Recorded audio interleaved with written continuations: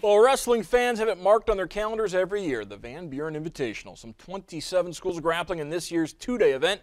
Preliminaries today, rest of the action tomorrow morning and afternoon.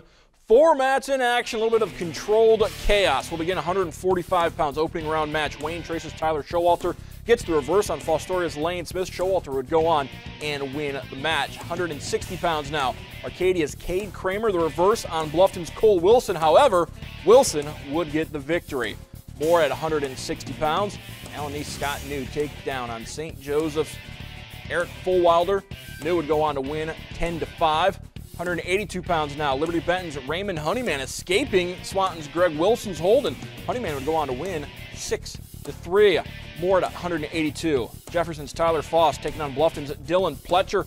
Foss would get the takedown and would go on and get the win over Pletcher. Now second round action, 106 pounds. Grove's Preston Brubaker on Lakota's Logan Bloom, and Brubaker goes up 4-2, and Bulldog would get the win.